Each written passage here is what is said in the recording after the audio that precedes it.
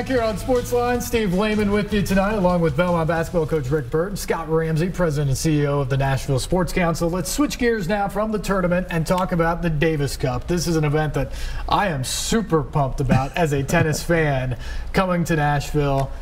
Coach, I want to ask you first because I think you might be one of the first people in Nashville who had any inkling this might come. Jay Wayne Richmond, who's a Belmont grad, Right. is the director of major events for the USTA.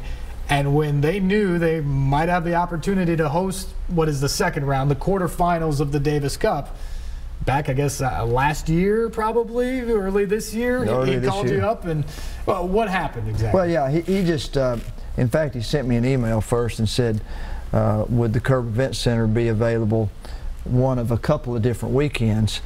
And one was Fed Cup and one was Davis Cup, and I frankly didn't know which one, but but went to our people in the Curb Event Center and found out that, that the weekend of the Davis Cup was a possibility. Had to move one little event, and um, and so um, I went to Dr. Robert Fisher, our president, and just said, "Here's what's in front of us. Here's what could happen." Dr. Fisher uh, is is really excited about getting major events. Obviously, the presidential debate's the number one thing we've had there Sure. at a national level. But he saw the he saw what this could mean to Belmont and to Nashville. He, he's a he's a tennis guy too. He's played it. He had a son that played it competitively, and uh, so so the ball got rolling, and, and we put in a bid and had a couple of couple of other pretty significant cities. Got Scott involved, and we had a big meeting one day and talked about all of it. And uh, so I was just, I I mean, I was as excited as you are to, to think it might happen. Then we had to live through going to Serbia and winning that that first round. Winning the opening round match, yeah. Yeah. So, um, and then after that is when we found out that we got the bid. So, uh, Well, and first things Okay. first, you actually had to take a tape measure out and make sure the court could even fit in. I mean, the Curb Center, for those people who don't know, that's your basketball gym and multi-purpose facility for a lot of other events too. But it's most known for having a basketball court in Right. there. Mm-hmm. You had to make sure you could even get a tennis court in. yeah, and, and, and the great thing is that you can almost just barely get it in. So that means the seats are going to be really close Incredible. to the Yeah. court. I mean, I, you, you can sit in any seat in there and see tennis really well. And you, you know, you, I've been to the U.S. Open, and you get up there in the, the nosebleeds, and it's it's hard hard to see the ball almost In a different at zip times. code at times. Exactly. This is going to be unbelievable. But yeah, Steve Barrick, our, our, our assistant AD, and I went down and, and took it out and went from one side to one side and one end to the other end, and uh, and it fits. and uh, so uh, they're going to, you know, it'll be interesting to see the transformation of that facility the week prior to that. To that, it's gonna it's going to become a tennis building, uh, uh, in, in in short order. It's going to be fun. It's going to be a lot of fun, that's for sure. Scott Ramsey, you've been involved with bringing just about every event to Nashville for a long time, whether that be the Women's Final Four or uh, Franklin American Mortgage Music City Bowl, obviously, NHL All Star Game. You've done a lot of events. But in terms of sort of the international scale, I mean, there's something like 26 countries that will be watching this match. You got people from all over the world. The opponent is Belgium. You know, uh, what was this event like when people came to get the National Sports Council involved? Well, you know, it's kind of funny. Every event kind of comes at a different way or method. Um, some are very long bid processes, and this one was very short to, to what Rick said, um, and it's a very short planning period. I mean, very seldom do you have six to eight weeks to really plan an international event like this. So, really, all the all the compliments go to, to Belmont and their facility folks, really able being able to, to turnkey it this quickly. Um, you know, and, and I, I think to pick up on a couple things Rick said, I think one, it, it's just an event you don't get to see every day. And I think I think the the mix of events that we've been able to have in Nashville um, are, are really something pretty special. Um, also, think it, it allows us to showcase all of our facilities here. I mean, sometimes we get kind of pigeonholed in an arena in the stadium.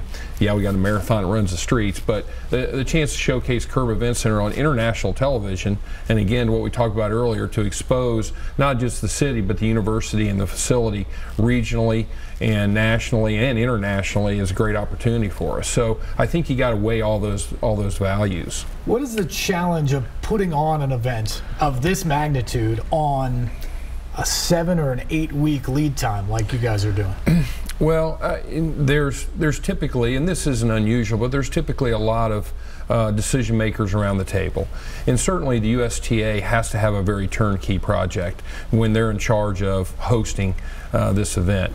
So Jeff Ryan, Jay Wayne, they came in with a package. And certainly you're leaning upon the facility folks at, at Belmont to, to really deliver that piece. I think what, what we're really challenged with right now is just getting the word out on the marketing because I, I, think another thing is it's going to be easy know who to root for. I mean, right. red, white, and blue. I Absolutely. mean, I mean, you know, whether it's a Ryder Cup, whether it's a World Cup, whether it's whatever. And in this case, the Davis Cup, a chance to come out and red, white, and blue are cheering for the United States is a pretty pretty great thing. So I think right now it's just a, it's a compact period to try to get the marketing out. And we've been talking about March Madness here for a few minutes, and, and that's kind of dominating the, the media set and, and really everybody's mindset. So we've got to turn that a little bit here in the next couple weeks and, and fill it up. And to Rick's point, I think it will be an electric atmosphere in there. Coach, that's one of the things I'm most excited about is – I love the tennis and just watching that high level of tennis. These are the best guys in the world is great. But for anyone who's ever watched team tennis, even at the college level,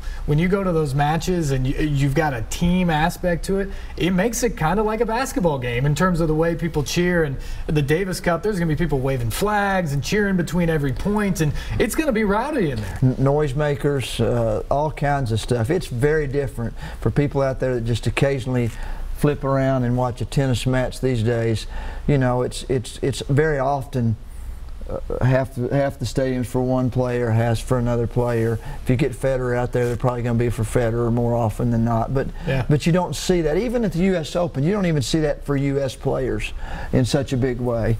But this this and, and I don't know if people understand the intensity of playing for your own country. Uh, when you see that the Ryder Cup's only every two years, mm-hmm. uh, but you see that big time when you watch the Ryder Cup.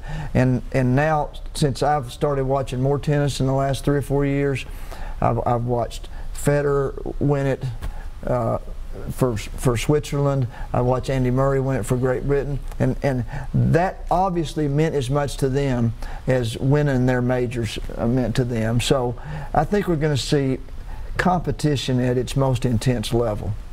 It's going to be absolutely phenomenal for sure. The team announcements, at least on the U.S. side, come Wednesday afternoon, but chances are we're looking at guys like John Isner, Jack Sock, Sam Querrey headlining the American side. Those are some pretty big names out there. But I think to your point, even if you're not the biggest tennis fan or if you don't necessarily love those individuals, this is a chance to root for America. Sure. We just got done with the Olympics. Everybody always gets gets the the patriotism up at, a, at an all-time high during that time of year or every four years.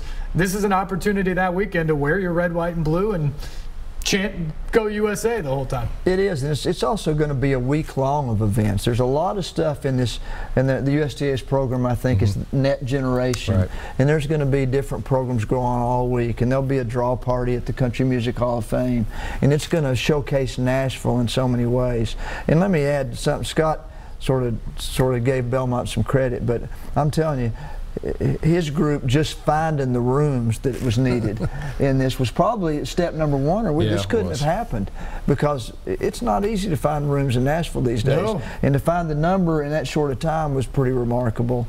And so uh, it's going to, you know, the, the USTA is going to make this way more than just the three days of competition. There's going to be stuff going on all right. week.